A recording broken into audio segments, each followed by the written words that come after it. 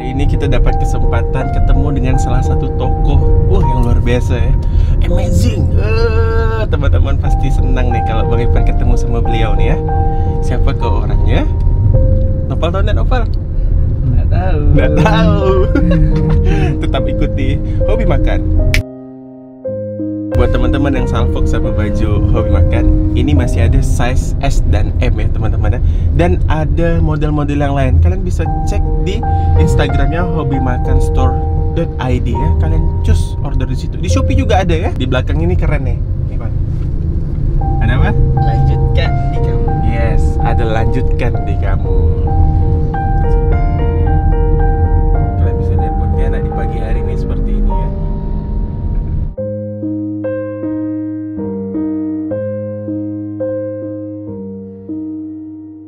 Dan kita udah sampai di TKP. Bang Ipan mau ketemu dengan teman-teman dulu nih ya. Yuk, salah satunya ini nih. Cah, inilah kawan-kawan Bang Ipan nih. Ustaz Lukman ya. Siap. Tuh. Alhamdulillah.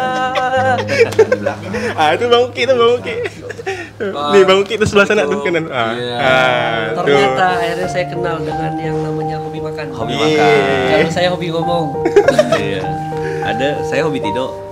Naik pesawat tidur. Ini Lukman nih ya. Siap. jadi ini belakang sendiri Bang Rangga, Bang Rangga. Eh, makan jalan turun berkah gitu, gitu. assalamualaikum bang Waalaikumsalam ya. kalau saya itu dulu kurus Kurus. iya celana size 28 gara-gara hobi makan sama Bang Evan hobi makan. Masya Allah. Ini yang YouTube-nya subscribe-nya 2 juta lebih nih ya. Iya. hampir 3 juta Insya Allah ya. Makan-makan di ini ya. Siap. Inti kita makan-makan ya. makan-makan. Ah, Siap. Insya Allah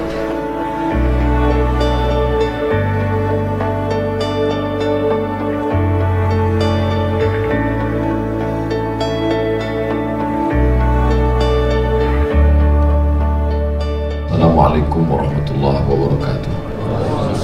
الحمد لله وكفى والصلاة والسلام على الحبيب المصطفى وعلى آله وأصحابه أهل التقى والوفاء سبحانك لا علم لنا إلا ما علمتنا إنك أنت العليم الحكيم. رب اشرح لي صدري ويسر لي أمري واحلل عقدة من لساني يفقه قولي.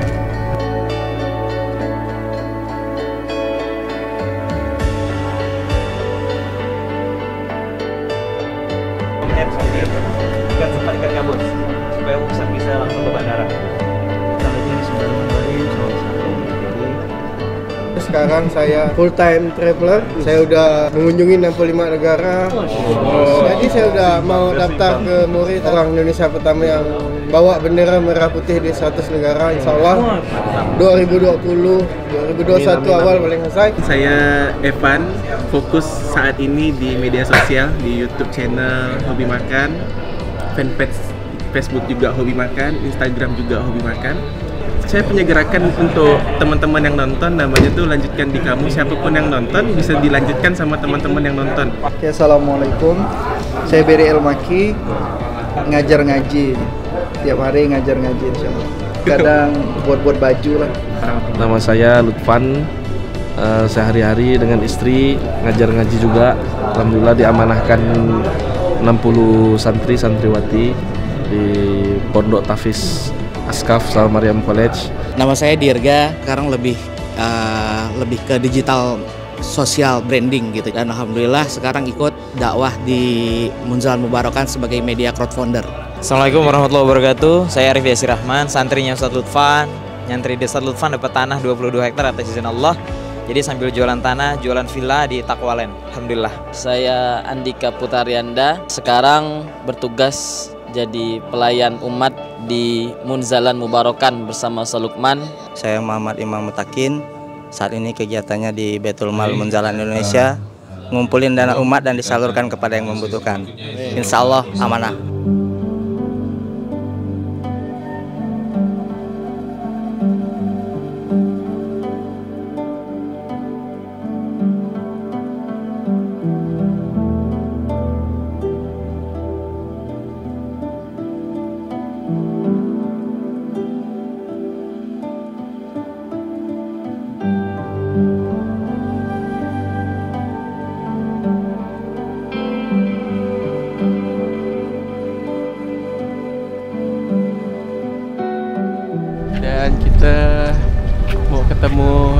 Puas ya Ustaz Abdul Somad ya di ruangan VIP.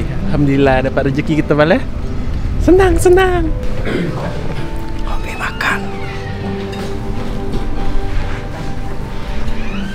Yang mau jalan-jalan murah ya, jangan lupa Instagramnya tuh di Blue Ransel. Ini ownernya nih ya. Dan kalian bisa pergi umroh dengan 8 juta setengah ya. Rekor 8 juta. Rekor, rekor 8 juta setengah bisa pergi umroh. Ah, jadi ini yang terpercaya nih kawan Bang Epan ya.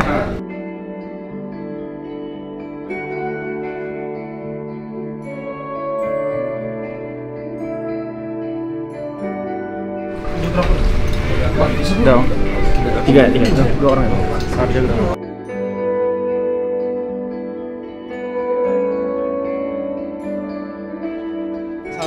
Warahmatullahi wabarakatuh. Saya Ustad, saya ada Eko Wahyudi. Iya. Saya dari Blue Ransel dan hobi makan.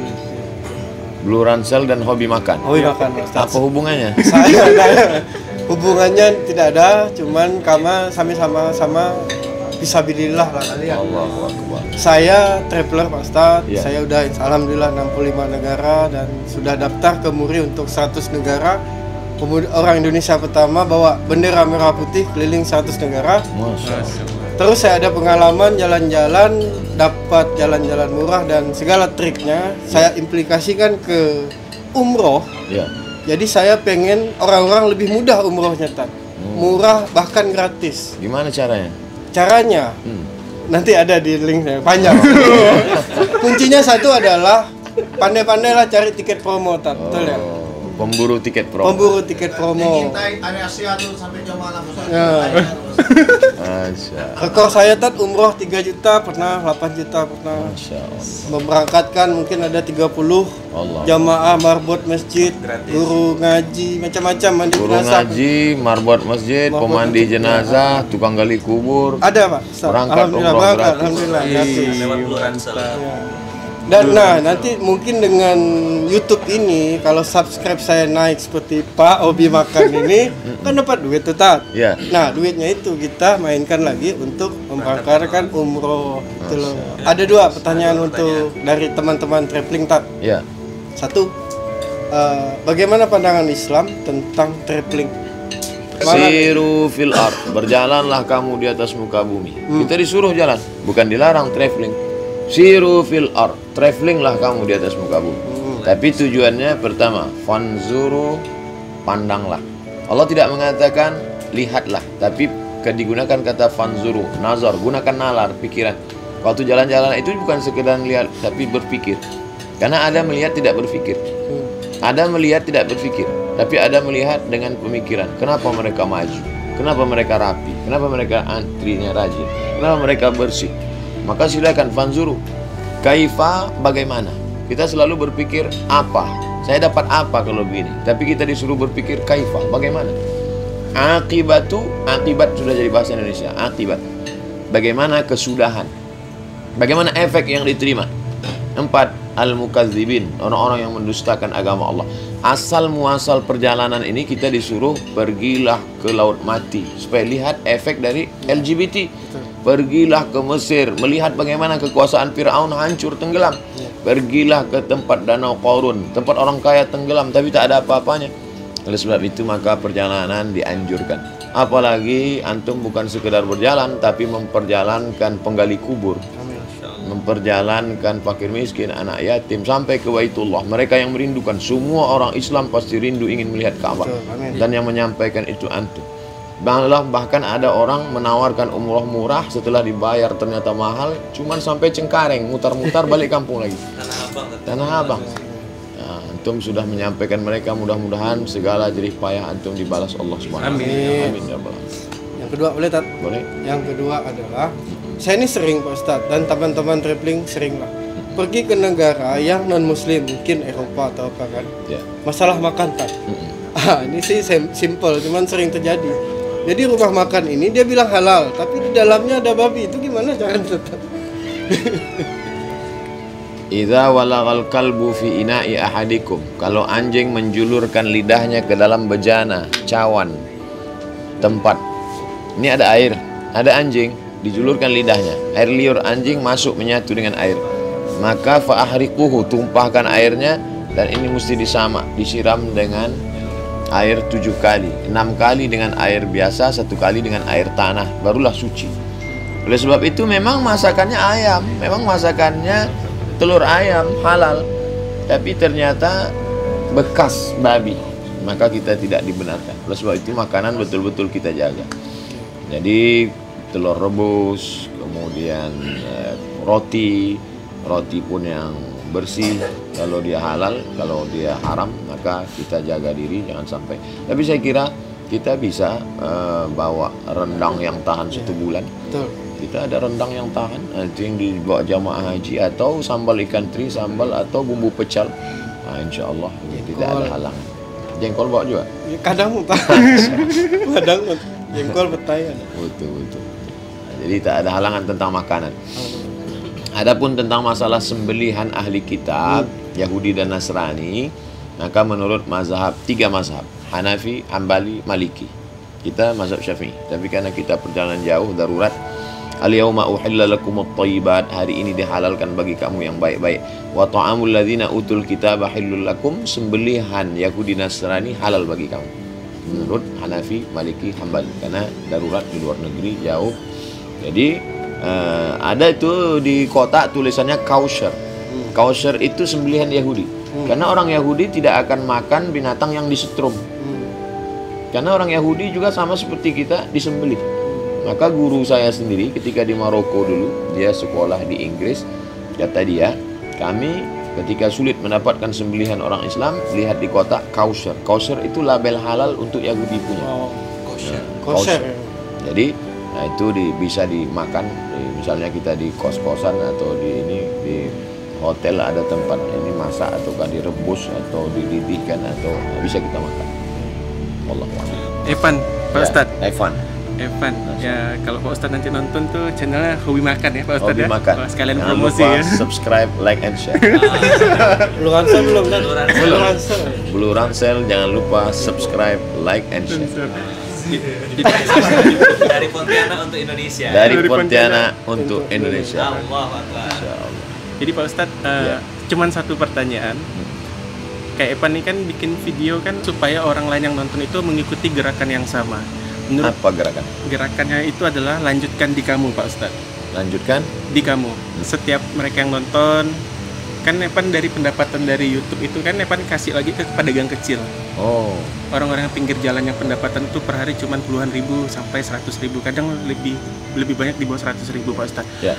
Menurut pandangan Pak Ustadz, apakah itu berdampak baik untuk Evan ke depannya atau memang harus dilakukan untuk yang menontonnya? La tazulu qadama abdin kaki anak Adam akan tetap tegak berdiri di padang mahsyar tidak bergeser hatta yus'al an arba sampai ditanya tentang empat masalah. Yang pertama an umrihi, ke mana umur dipakai? Jalan-jalan, tapi jalan-jalannya positif.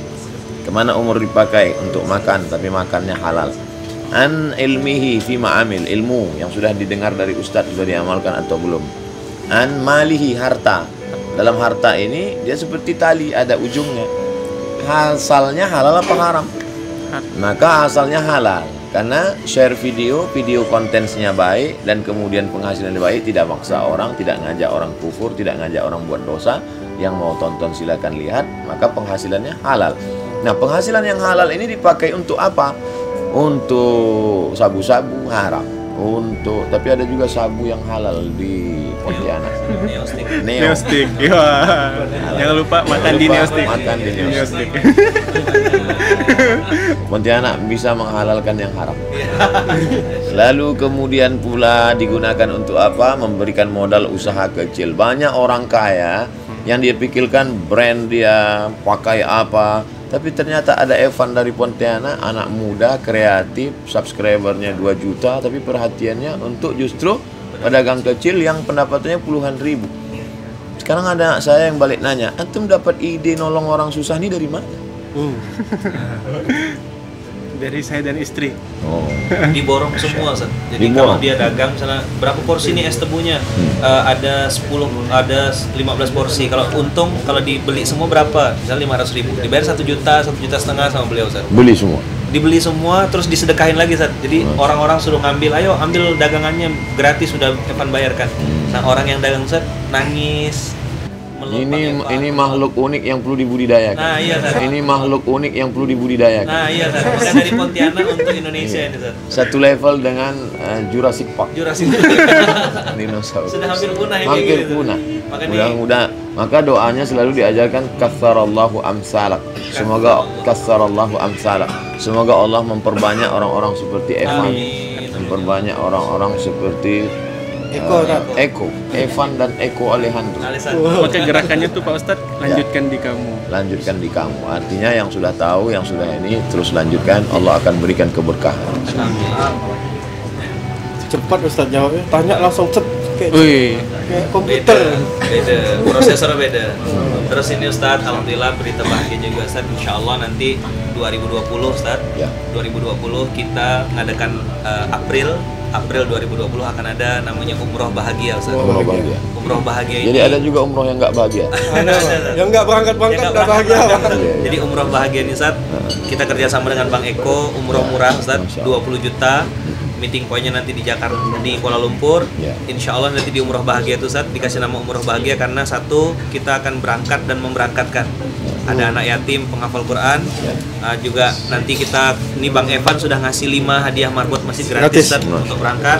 Bang Eko juga lagi nyari untuk nyiapkan berangkat gratis. Mungkin minta himbauan atau nasihat Ustadz untuk kita ramai-ramai eh, ramaikan berangkat sama-sama di umroh bahagia April 2020 dan insya Allah saya juga ikut berangkat dengan teman-teman pasca semuanya. Assalamualaikum warahmatullahi wabarakatuh. Saya Abdul Somad di sebelah kanan saya, Eko Wahyudi. sebelah kiri saya. Mereka punya program yang luar biasa mengantarkan saudara-saudara kita yang lama bermimpi meneteskan air mata ingin bersimpuh sujud di hadapan Allah Subhanahu wa taala di depan Ka'bah ingin mengadukan nasibnya di tanah suci Makkah Al-Mukarramah ingin merasakan seperti yang dirasakan orang-orang kaya tapi ternyata harapan itu pupus karena ongkos yang begitu mahal Rupanya doa-doa mereka di tengah malam munajat mereka di hampir azan subuh berkumandang menembus pintu-pintu langit. Ada hamba Allah yang dibukakan pintu hatinya, Eko Alejandro dan Evan. Maka rupanya mereka punya program yang luar biasa. April nanti mereka akan pergi 2020 akan pergi ke tanah suci membawa marbot masjid, penggali kubur, tukang mandikan orang mati, fakir miskin, orang susah. Kita support program ini, tonton channel mereka. Jangan lupa umroh bahagia bersama Ustadz Lukman Al Hakim. Cukup itu Pak Ustadz. Makasih banyak. Makasih, Ustaz. Makasih Sampai banyak. jumpa di Baitullah. Sampai jumpa Terima kasih Baitullah. Abdul. Semoga antum diangkat Allah derajatnya, Amin. dimuliakan Allah, diistiqomahkan dan semoga Allah memperbanyak orang-orang seperti Ustaz Abdul Somad di dunia ini insya Allah. Memperbanyak juga orang seperti Ustadz Lukman. seperti Eko Alejandro. Amin. Seperti Evan. Amin. Assalamualaikum warahmatullahi